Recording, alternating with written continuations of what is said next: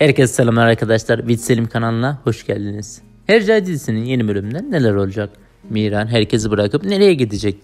Aslan Reyyan'ı kaçıracak mı? Hazar ölüyor mu? Bu sorunun cevabını bu videomuzda bulabilirsiniz. Videomuza geçmeden önce Miran ile Hazar kavuşması izlemek istiyoruz diyenler videomuzu beğensinler. Hercai dizimize destek olmak ve final yapmaması için kanalımıza abone olmayı unutmayın. Son bölümde Füsun herkesin ortasında Mira'nın Hazar'ın oğlu olduğu gerçeği açıkladı. Yeni bölümde Miran büyük şok olacak ve bir süre kimseyle görüşmek, görüşmek istemeyecek. Miran Reyyan'ı da alıp buralardan gitmek istese de yine de gidemeyecek. Peki Miran'a en çok koyan şey ise yıllarca intikam almak için yetiştiği adam babası olduğunu öğrenmesi olacak. Reyyan Miran'a büyük destek verecek ve onun yanında olmaya devam edecek. Azize ise gerçekten ortaya çıkmasıyla beraber gene masum rolünü oynayacak ancak bu sefer kendini inandıramayacak. Fusun dizimize bomba gibi giriş yaptı ve daha da geldiği ilk anda tüm gerçekleri herkese açıkladı.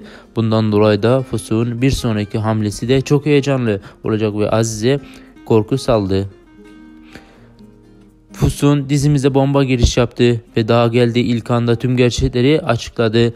Bundan dolayı da Fusun bir sonraki hamlesi de çok heyecanlı olacak ve Azize'ye korku salacak. Dizi çok heyecanlı olmaya başladı. İzleyiciler olarak da biz de bu heyecanı çok seviyoruz. Geçen sezon çok yavaş ilerleyen dizi bu sezon tam gaz devam ediyor.